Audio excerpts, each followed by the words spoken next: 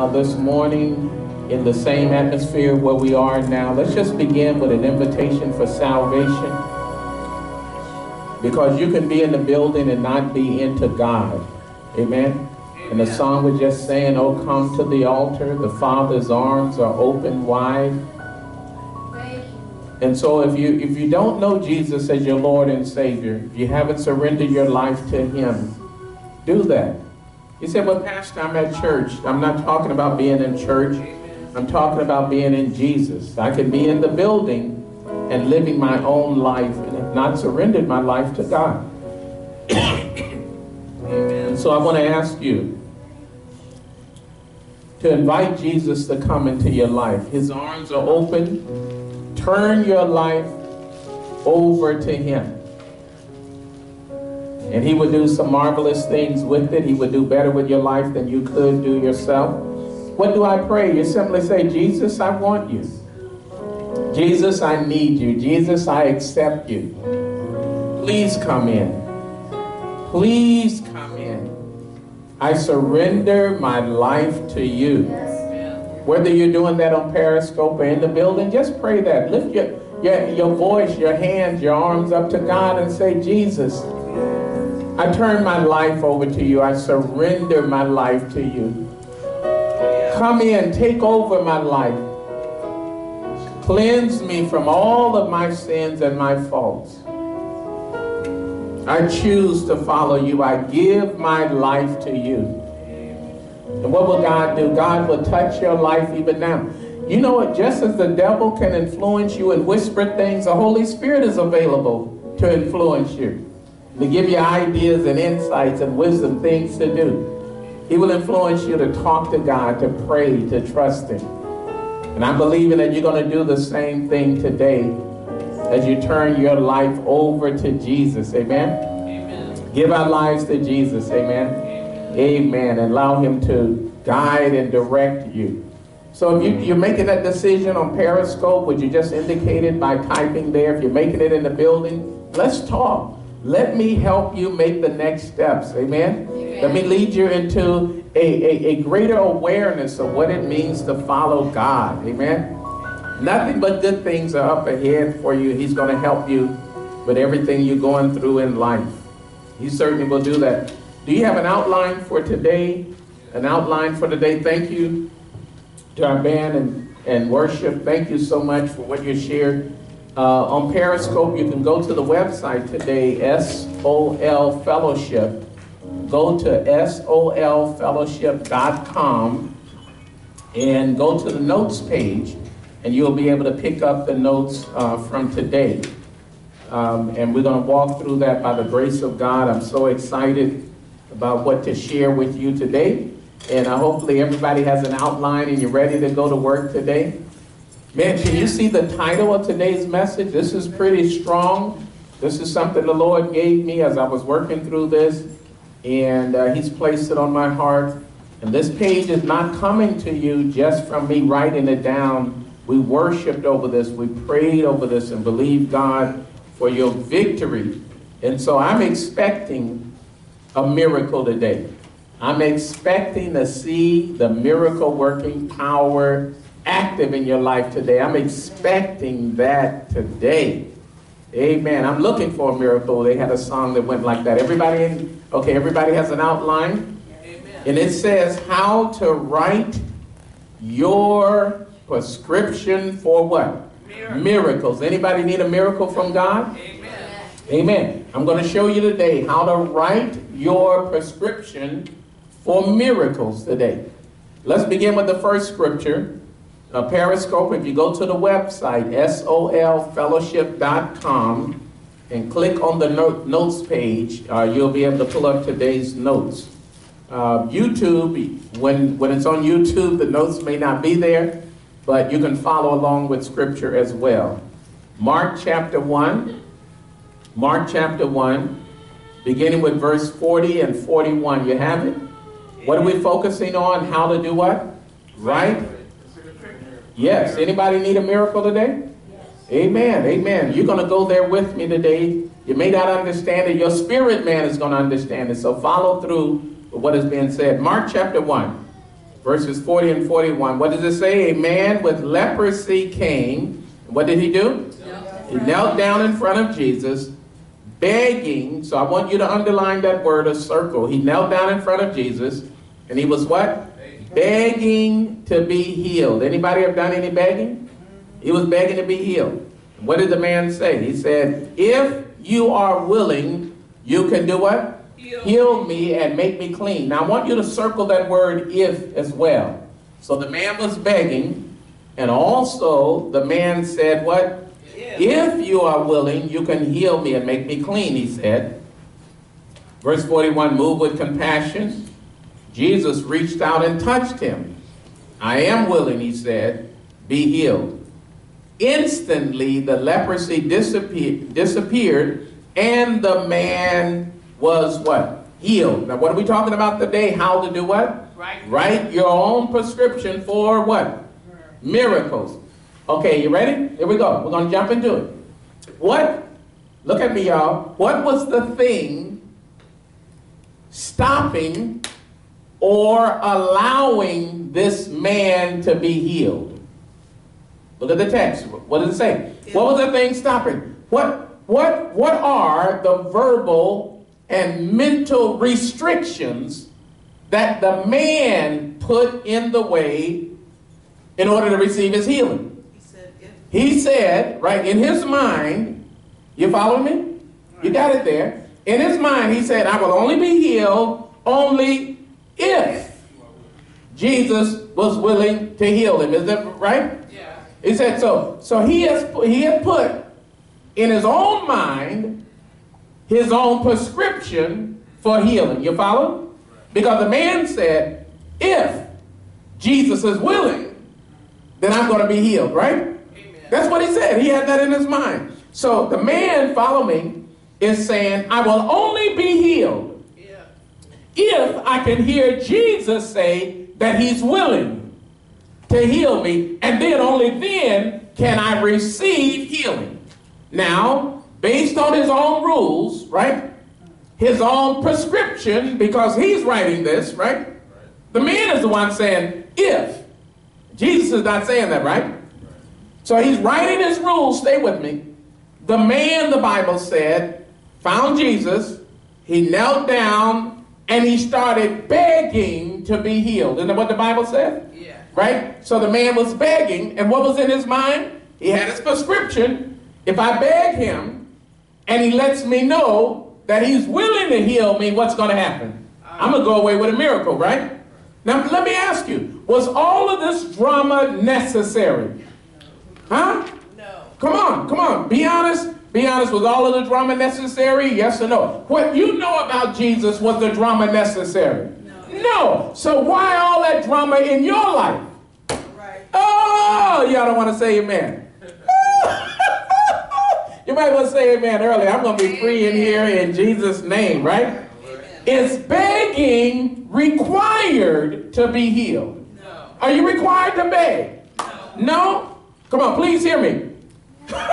you ready for my next statement? Yes. Yeah. And I put a, thank you, thank you, little brother. I put a star by it in my notes because this is going to be strong. Are you ready for it?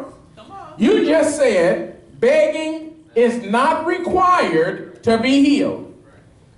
In my notes, I wrote it down with a star by. Begging may be necessary for you to be healed because begging may be the qualification you put on your miracle prescription. You, you, you may write it out in your mind that God is not going to help me unless I beg him, even though you just said it's not required. So it's possible for me to have something in my mind that's not required, that I know is not required, but I don't believe it's not required, so I don't act as if it's not required. Oh, they get quiet in here, Periscope. Can you all just put amen on the screen? Because they get quiet in here. Amen. See, it, it, it's necessary. The man, did the man write his prescription? He said, did, did the man do this? Yeah. Jesus didn't walk up to him to heal him. The man, oh, let me kneel down because in my mind, if he's willing, and what am I going to do to get him to be willing? Oh, Are you ready? So some people will not receive healing unless they beg for it. And while they're begging, somebody else will just walk up and ask for it and receive it and go on about their business. Amen. But for you, you must beg and you must beg and you must beg and you must beg until you feel you begged enough, right? Until you, be, you feel that you begged enough to qualify to receive a miracle. And I know you're getting mad with me because, but Pastor, I, I'm, I'm a beggar. Well, I got a couple of more scriptures. I'm going to find you today. I'm just getting started. But can we agree that the man wrote the prescription? Yes. Can we agree that the man said, if you're willing? Yes. And Jesus said, I am willing. Huh? Are you there? Amen. Think about begging somebody for something. I remember, and I told you a story before when I was a little boy, we were at Disneyland years ago. So, based on my age, that's like 40, 50 years ago. you know what I'm talking about? Yon, yonder, way back then, years ago, right? And we were there, and they used to have um, little toy guns and all that. You know, people don't want to sell you little toy guns now and all that, but little soldier men, you know, for, for Christmas, I would want to get a little soldier outfit, right? Uh, y'all remember little cowboy outfit? You remember that had the little cowboys with the little guns and stuff, you know, pearl handle. Annie Oakley. Annie Oakley, that's right. Little cowgirl boots. You remember that they had the little skirts and stuff, and right? So we were at Disneyland, and, and they had the little military uniforms. They had a Union military uniform, and they had a Confederate military uniform, right? And I'm a little kid, you know, back in the day, I liked the hat. You know, I, I did. I liked the little gray hat. I didn't like the blue one. And so I wanted, I didn't know anything about the Confederate Army. I was a little kid, right? And so I, I remember begging my uncle who had taken us there, you know, and remember back in the day, people used to carry wads of cash. You know, you, we don't do that anymore, but they used to carry a wad. You know what I'm talking about? That's what they call it. So, you know, I knew he had the money. And so I begged my uncle to buy me that hat. And he offered me to buy me other stuff, but money was not the problem. The hat was the problem. I didn't know it, right? And so I kept begging my uncle, please buy me this hat. No, he wouldn't buy. me. Eventually, hear me now. Eventually, I started getting angry with my uncle for not buying me this hat, trying to buy me something else, right?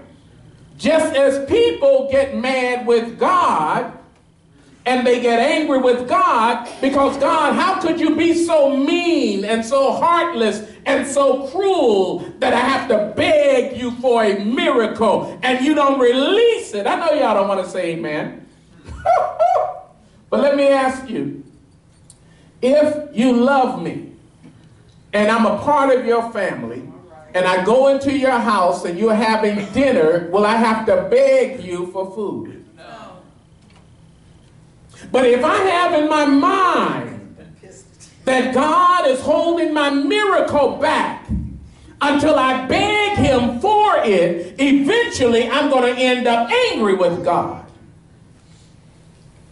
See, the only way my mother wouldn't feed me, are y'all still in the room? Yes. The only way my mother wouldn't feed me if feeding me would be bad for me.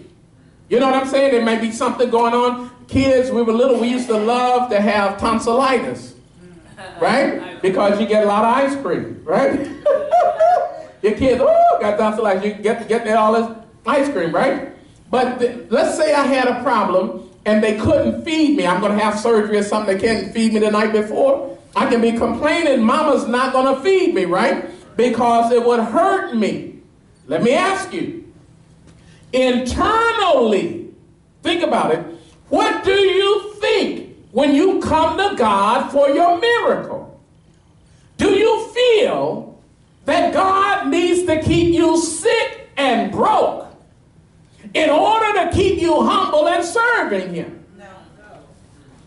Because I heard a lot of people say, oh man, if I had all this, some people wouldn't even come to church if they had all the money that they wanted. They only come to church when they're broke. So in their mind, they start thinking that God wants to keep them broke because when they're broke, they come to church.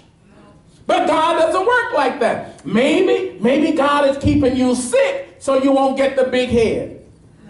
Maybe God is keeping you sick so you stay on your knees and pray. Because when you were well, you didn't pray. Internally, what do you feel when it comes to us talking about you being healed? Because there are things that you can think that will block your miracle and block you from releasing your faith. At least the man understood. He said, Man, if Jesus gives me a yes, I'm healed. If he's willing, I got it. At least he understood his restriction, right? I only beg for things that I believe I cannot have naturally. My begging is designed to move you to give me what you don't plan to give me. So if I'm begging God for my miracle, my plan in mind and my thought in mind is that God is not going to heal me. I got to beg him to do it because he wasn't planning on doing it. Are you still there? Yes. Anybody need prosperity as a miracle? Anybody need healing in your body? So what goes through your mind? In the story, look at it again. What was Jesus' response? Let me hurry up and get this down. What was Jesus' response in the story? What did the Bible say? Jesus was what? He was what? Moved with what? Compassion. One translation, Sarah said he was in, in, indignant. That's one translation. But he's moved with compassion. What is compassion? Compassion is a compound word meaning with passion to suffer the compassionate one, you are suffering with the one who suffers. Are you getting that? So compassion is a sympathetic awareness of somebody else's distress. You are not in trouble, but you feel their trouble and you want to do something about it. It's not compassion unless you want to do something about it, right? So the ambulance drives by your house and you feel that, oh, I feel that what's going on with them. But compassion is when I want to do something to help them as well. You got it? Amen. I feel your pain and I want to help you with your pain. Your passion and I got a strong desire. So what is Jesus, listen, what is Jesus feeling today in your body while you are being sick? And while you're struggling with prosperity, what is Jesus feeling about your situation? Huh? Does he have compassion for you? Or is he angry with you? I'm talking, go through your head and see what pops up in your head. Because what pops up is what you write on your prescription. What is Jesus feeling? Man, does, does Jesus feel what I'm going through and want to solve it? That's compassion. Are you getting that? Come on, yes or no if you got it. Yes. Okay, look at the next one. Let's move on rapidly. Uh, number two, Matthew chapter 8. Stay with me, Periscope, because I'm not sure anybody understands being here, but stay with me. Matthew chapter 8. Are you there? Amen. Look at this. Come on. What does he say? Lord, what, my what? My young servant lies in bed paralyzed in terrible pain. What does Jesus say? I will come and heal him. Verse number 8. But the officer said, What? Lord, I am not worthy, right, to have you come into my home. And then he wrote out his prescription. What is his prescription? Just, Just say a word from what?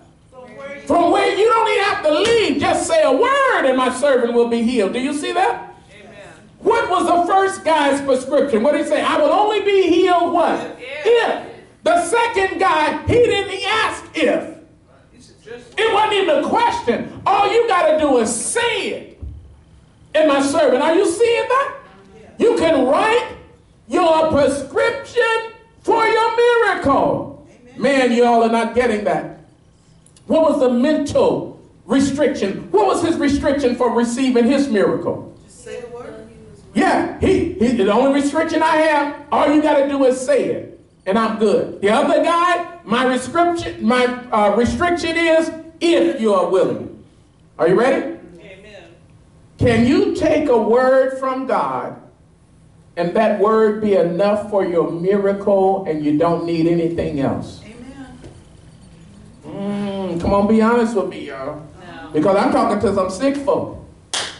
Amen. Amen. Come on, be honest with me. I, I listen, listen. It's in my notes here too. Just turn the page. Can I read it to you what it says? Amen. I know you may be saying, I didn't see you here, but I saw you here. I should only need a word from the Lord.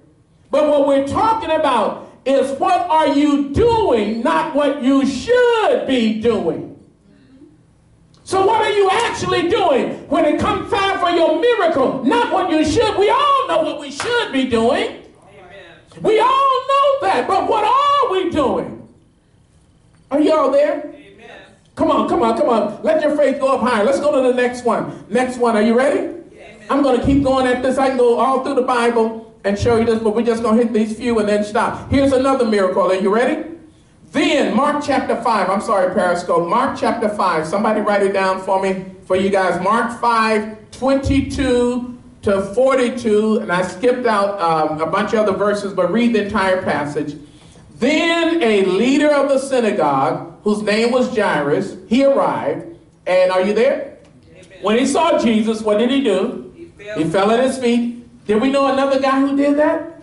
Yeah, the first guy fell at his feet, right? Fell at his feet. And then what did he do? Verse 23. Pleading fervently with him. Now watch his prescription. He's going to write it out. My daughter is what? Dying, he said. So here's the prescription. Jesus, I need you to what? Please come, right? And lay your hands on her and heal her so she, she, she can live. Do you see that? And what did Jesus do in verse number 24? Jesus went with him. Man, was he writing a prescription? Yes. Okay, what, what, listen, what are the verbal and mental restrictions that the man put on his miracle? Jesus had to Jesus come to had his house. You, you actually, Jesus, you actually got to come to my house. You can't come to my neighbor's house. You can't stay here where you are. Isn't that what he said? And he said, and when you get there, you can't just go in the house. You got to put your, you can't have one of your disciples put your hand on it. You got to do it. Isn't that what he's saying? Amen. And he said, and then after that, you can heal her. Isn't that what it said? Come on, read it. He said, please come, lay. hands on her, heal her, so she can live. You got it? Amen. And what was Jesus' reaction? The Bible said Jesus went with him. Why? Because Jesus is reacting to your faith prescription. Oh, are you all getting that now? No, you're not. You're not getting it. Nobody's there. I, I got it. I just wrote a prescription here when I was there worshiping. The Lord said, write a prescription as to what you want me to do today. And I said, Lord, I'm going to write a prescription that when I step up here, I'm going to feel the anointing and the power of God, and people are going to be set free. That's the prescription I wrote. I wrote up here, and now you can be healed in your body and in your finances in Jesus' name. Amen. Amen. I wrote it. Amen. Wait a minute, wait a minute. Uh, do you see that each person wrote their prescription, yes or no? Yes. Oh, yeah. You see it. It's right there. So let's pray, Lord, help me write my prescription for my miracle because I need a miracle today. Can you pray that? Lord, do what? Help me do what? Write whose prescription? My prescription because Need a miracle today. And what I need from God may be totally different than what my neighbor needs. So my prescription might be a little different. Are you getting that? The other guy, I'm not going to believe until I hear you say that you are willing. Another one say, I'm not going to let it happen until I get a word. Another one say, in Jesus, you got to come in the house. you got to lay hands on her. And then the miracle happened. Last one. Are you ready? Okay, last one. Mark chapter 4. Stay with me, Periscope. we almost done. A woman in the crowd. Do you see this one? Mark chapter 5, rather. Woman in the crowd. Hey, hey, you, you guys got some time? Read Mark chapter 5. Do you know it's a bunch of miracles happening? And while, listen, listen, while the one guy put the prescription on Jesus that said, Jesus, you got to leave where you are, come all the way to my house, lay hands on my daughter before she get here. Another woman had a different prescription. She snuck up and got a miracle. We're going to see her sneak in. Look at this. A woman was in the same crowd. Do you see that? And she had suffered how long? Twelve years. 12 years with what kind of bleeding? Constant bleeding. She had suffered a great deal from how many doctors? Many doctors. And over the years, what happened? She had- She had spent what? Everything. So now she is sick and she's broke. Anybody? Anybody here sick and broke? They don't want to testify on Periscope, but there's some broke, sick folk up in here. Amen. Amen. And I'm not just saying it because I'm a spirit of life. In every place, there's some broke, sick people. Amen. And you need to understand you're broke and you're sick. And you need to write a miracle. I'm, I'm just looking at the clock so you won't be offended. But if you are, shame on you because I'm trying to help you. Amen. Amen. You are sick and you need a miracle from God. Amen. Thank the Lord. And so over the years, she spent everything and she had got no better. In fact, what happened? She had gotten worse. 27, watch this. When she heard about Jesus, right? So she came up behind him, and what did she do? She touched his robe for what? Watch her prescription. For she. She thought to, come on, are you all there? She's writing her prescription. She did what?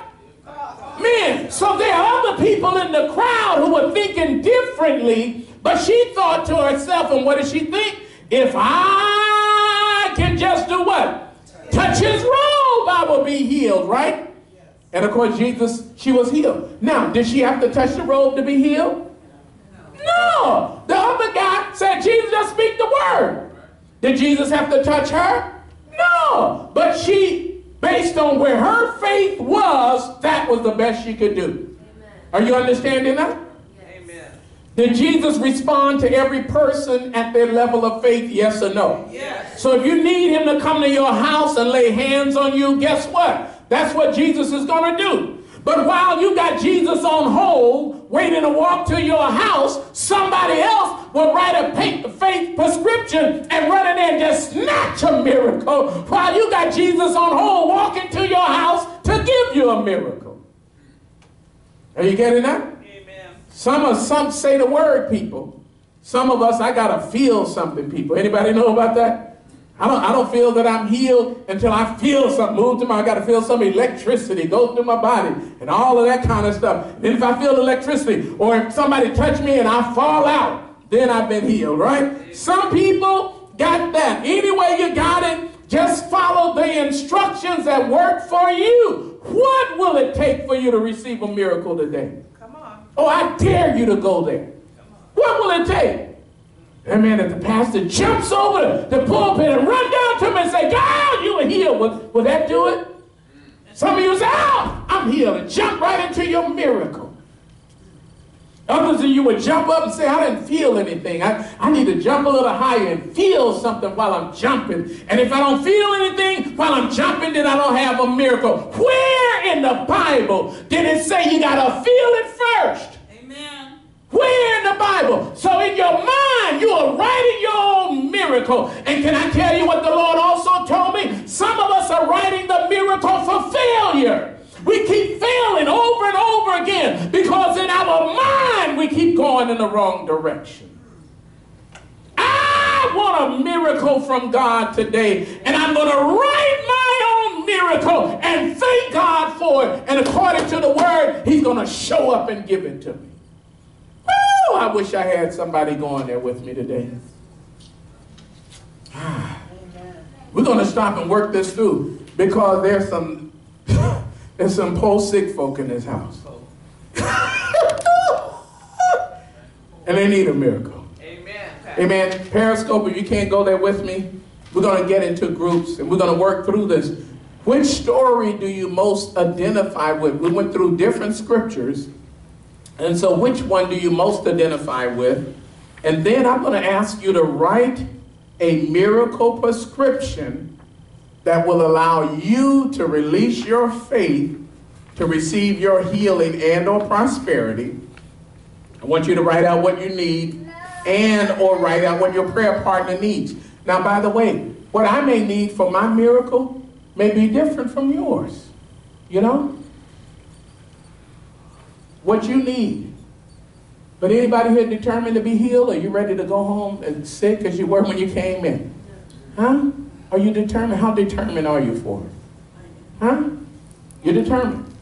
Okay, so let's let's do it. Periscope, I'm gonna say goodbye to you. Love you. Go to our website. Uh, stay with us. Thank you for your financial contributions. You're a blessing to this ministry. And then let me know, right? Let me know when you receive your miracle in Jesus' name. Amen. God bless you.